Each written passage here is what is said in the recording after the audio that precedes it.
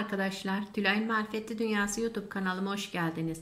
Arkadaşlar bugünkü modelimiz şöyle güzel düz pudra rengi yazma üzerine başladım. Desenli yazmalarınıza da olur. Ben kullandığım ipleri hemen göstereyim. Altın Başak marka 22 numara. Şöyle bir mavi ipim var. Şöyle bir sarı. Yine Altın Başak marka 347 numara.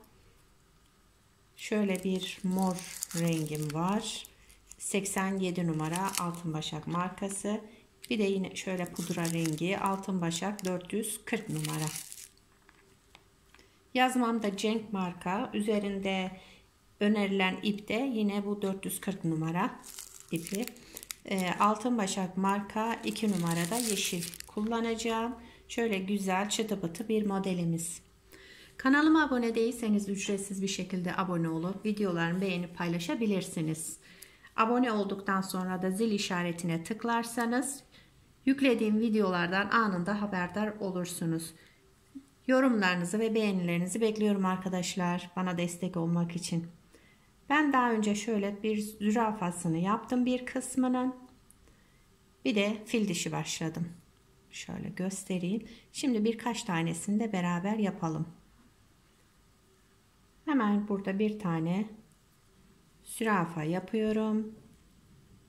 Fazla küçük olmasın. Çekerek bir zürafa olmasın. Şöyle tekrar içine battım. Düğüm yaparak tepesinde daha sonra aşağıdaki hemen yanındaki zürafaya indim. Şöyle hemen düğümümüzü sıkıştırıyoruz. Bir tane daha beraber yapalım.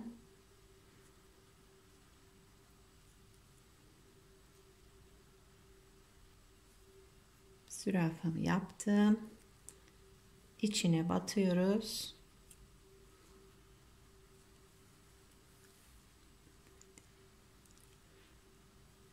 Tekrar aşağıya.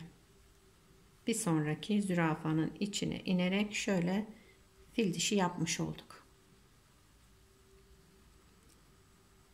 Bir tane daha yapalım. Daha sonra üst kısmına geçelim. Güzel zarif çıtı bir model. İnşallah siz de beğenirsiniz. Beğendiyseniz beğeni yapmayı unutmayın videoyu arkadaşlar. Ne kadar çok beğeni yapılırsa o kadar önerilen videolarda iğne oyası severlere ulaşır. Hemen ben ipimi burada bırakıyorum.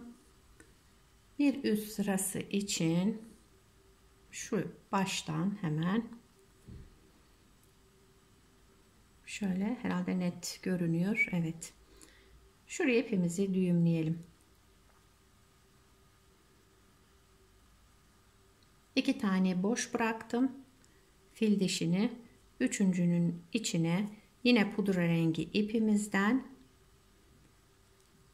şöyle ipimizi düğümledik. Buraya üç tane pırpır yapalım. Şu büyüklükte. Çok minik de değil, çok büyük de değil. Üçü de aynı ölçüde olsun.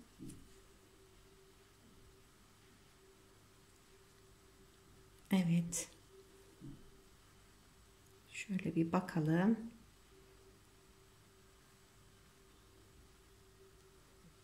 Buradan sonki yaptığım pırpırın içine battım. Tepesinde şöyle bir düğüm yaptım.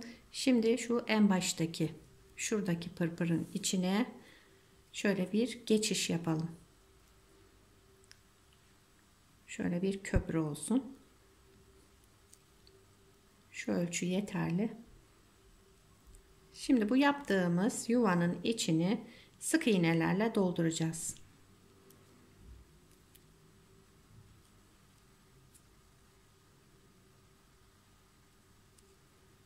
İki 3 4 5 bakalım kaç tane sığacak?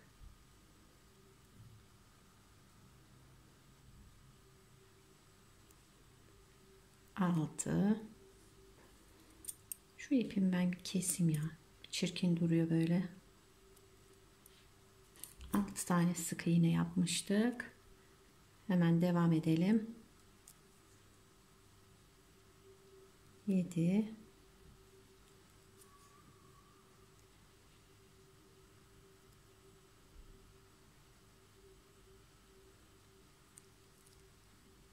8 Şöyle sıkıştıralım. 9 10 da sar. Hemen 10. düğümü de yaptım. 10 tane sık iğne yaptık burada. Şunu biraz fazla sıkıştırmışım. Arada şöyle düzeltelim hemen. Evet. Pırpırlarımızı da düzeltelim. Üzerine işlem yapınca ister istemez pırpırlarda şöyle esneme oluyor.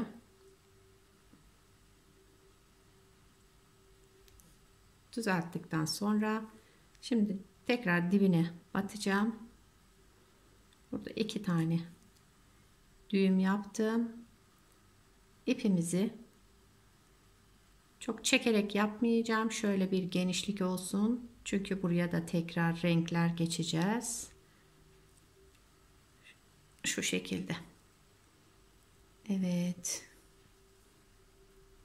Şimdi pudra rengini de tamamladık. İpimi keseyim burada. Bir tane daha beraber yapalım. İki tane boş bırakalım. Üçüncüye ipimizi hemen düğümleyelim.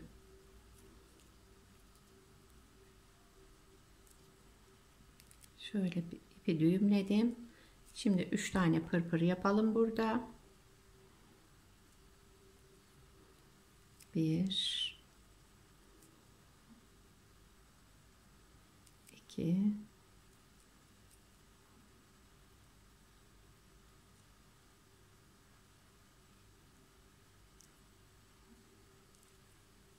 Evet.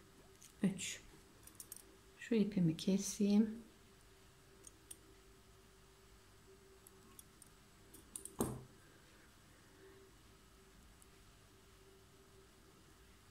İğne oyası çok zevkli bir iş. Bilmiyorum ben sıkılmıyorum yaparken. Eminim ki siz de öylesinizdir. Hemen yine baştaki pırpırın içine battım şöyle bir yuva yapalım. Düğüm sıkıştırdım. Yaptığımız yuvanın içini tekrar sık iğne ile dolacağız.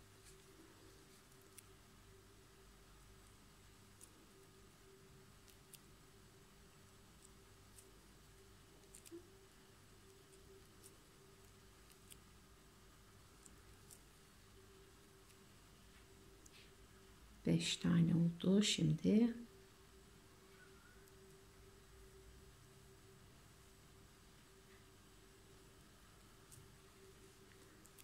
Altı, yedi, sekiz, dokuz.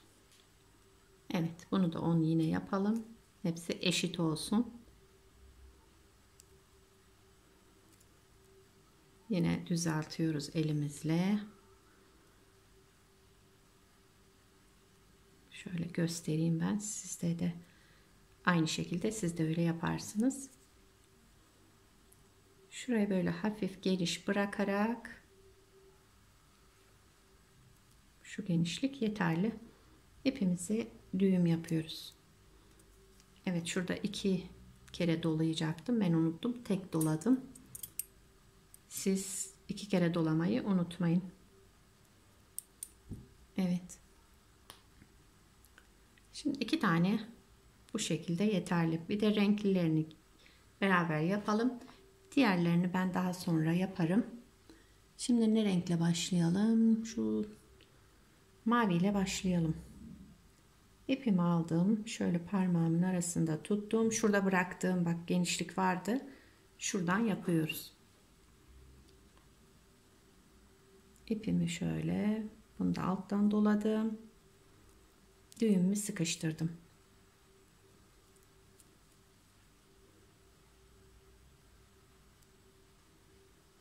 Burada 3 tane pırpır yapalım. 1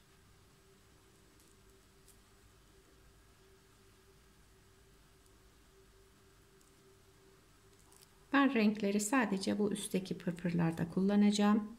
Diğerleri yazmanın kendi renginden. 3 Evet. Şöyle baktık. Evet.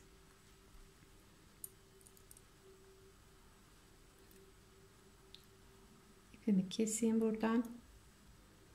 Bir tane de şu diğerine yapalım. Daha sonra ben öbürlerini tamamlarım. Şöyle oluyor. Evet. Bunu da beraber yapalım. Hemen ipimin ucunu aldım. Şöyle parmağımın arasında tuttum ve düğümü yaptım.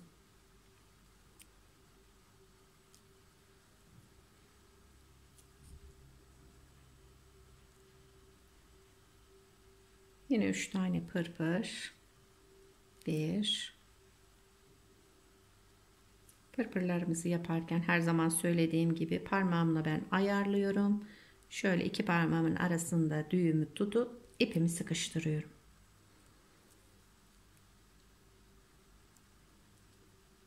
Evet, üç tane de buraya yaptık. Şöyle düzeltelim.